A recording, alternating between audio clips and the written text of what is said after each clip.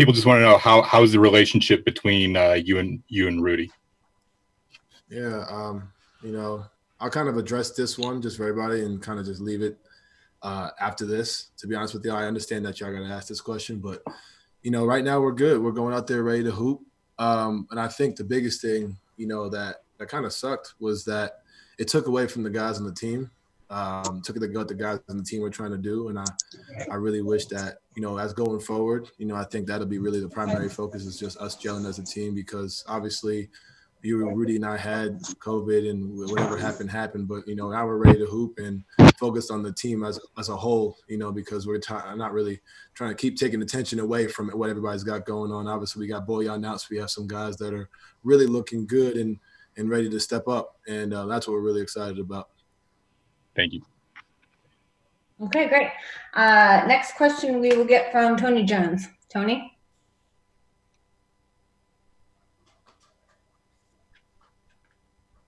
Uh, we can't hear you, Tony. Come on, Tone. Just click the unmute button. My bad. I got. I forgot to unmute. Um, uh, how you doing? First of all, second of all, um, you know, what are some of the things that that you you did uh, with your time off, uh, basketball wise, just staying in shape, um, staying sharp, and and and you know, just kind of working on your craft. Um, it was tough to be honest with you. It was tough to kind of because I really didn't have much. I was in the basement of my my mom's house for most of the time, but uh, really doing a lot of a lot of sprints. You know, I think it took about maybe three weeks off.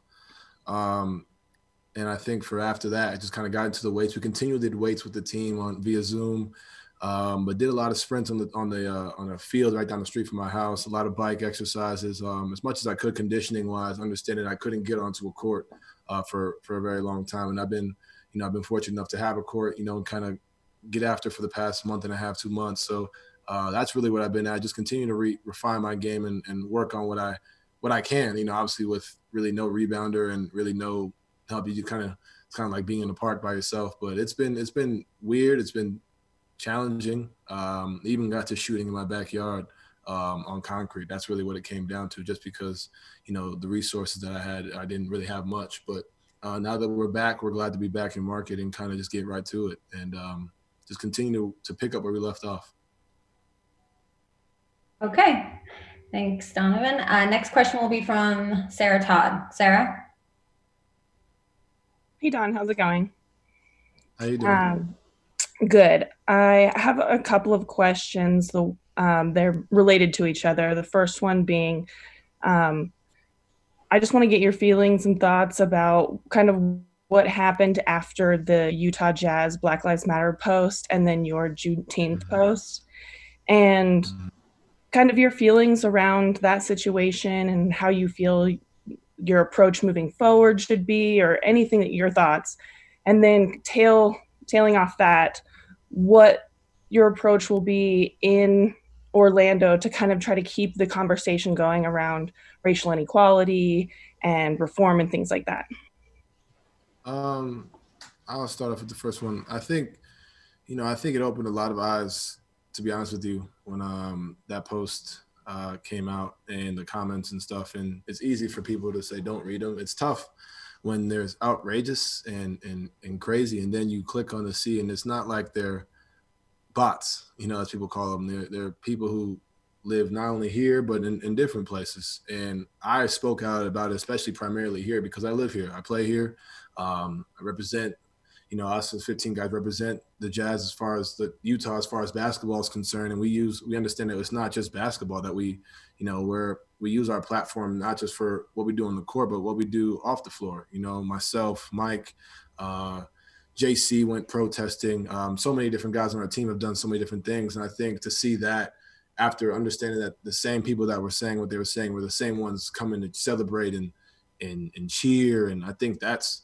that's really where I was just I'm not lie to you, pretty pissed off. And it's kind of like, man, like, you know, for for my for my career. I speak for myself when I say this. For the past two two three years, you know, I gave it all, and then you know that you see that, and it's tough to see that as an African American male because not only just what happens in Utah, I, I, understand it's not just a Utah thing, and I want people to understand that it's not like it's just Utah. This happens everywhere. It, it's it's it happens everywhere. But you know, like I said, I spoke out on it, especially because I play here and I'm and I and I live here, and I wanted to be known that I'm going to continue to use my platform, continue to use my voice that I that I have because I feel like that's that's what's necessary. And I think a lot of people don't understand certain situations that I've been brought up in that, you know, Royce has been brought up in Mike, JC, uh, Emmanuel, Rudy. Like there's so many different uh, backgrounds and guys come from different backgrounds. I think people, you know, not only just in Utah, but everywhere need to understand that, you know, the experiences that we have may can be completely different.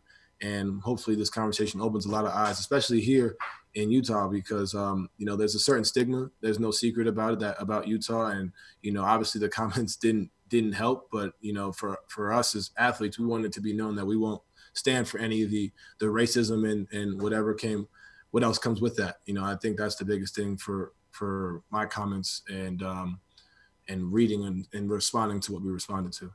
Um, and then sorry, the second part of your question. How you uh, how do you keep the conversation going in Orlando?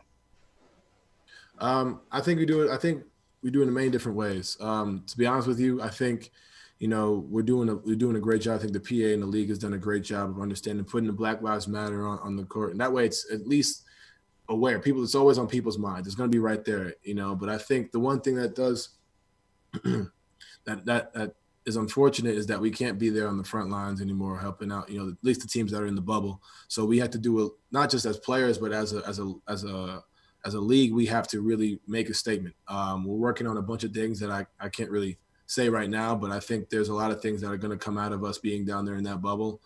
Um, but you know, I, I, I do wish, to be honest with you, I do wish that we were able to be there on the front lines as opposed to being in that bubble. I, and I, that's my personal opinion because I think that's just something that really needs attention, you know, as opposed to, you know, people talking about who had 30 or 40 or who won this game. It should be about Breonna Taylor. You know, it should be about so many other different things that are going on in the world right now that should be really brought attention to.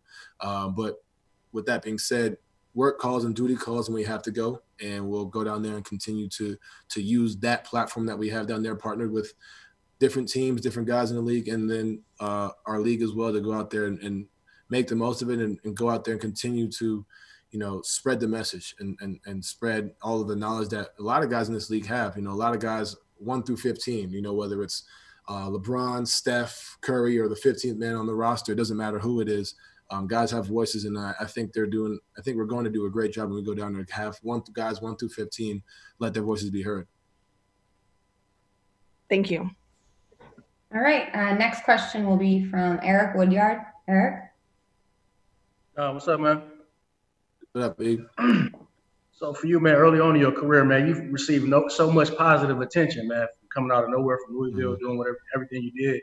How has it been for you to deal with that side of it? I mean, now you're seeing the other side of professional basketball from receiving negative attention to being in the middle of things. How has that has that shaped your opinion of being a professional, or what's your thoughts on just all you had to go through these last few months? I make the joke, it's been a long few months for me. I can't lie to you.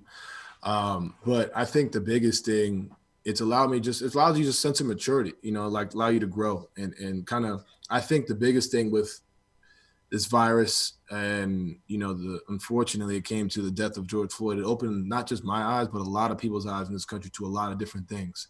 Um, and I think it's allowed people to kind of just stop and sit back. You know, as you know, as you you you know, E, like I've been going nonstop since I got into the league. You know, whether it's you get in, you start playing the dunk contest, the playoffs, go to China, go to all the different places for Adidas, come back, play again, go back overseas, play with Team USA, and then another shoe tour. So I've been going nonstop, really. So now I think this time has allowed me really just to sit back and just watch. You know, I'm asking questions from guys around the league how they handle different things, and I think it's been a time for me to really just find myself in a way that you know I never really found because I've been on the move for so long. So it's allowed me to kind of sit there and understand that one, this is a business, you know, and and and being a professional, there's there's going to be highs, there's going to be lows, and I knew that on the court especially, but off the court, like you said, there's so many different things. There's going to be things that are great, and there's going to be things that kind of open your eyes and kind of make you sit back and and just reevaluate and look at things. And I think that's been the biggest thing for me and just being able to adapt to that without, you know, kind of going crazy.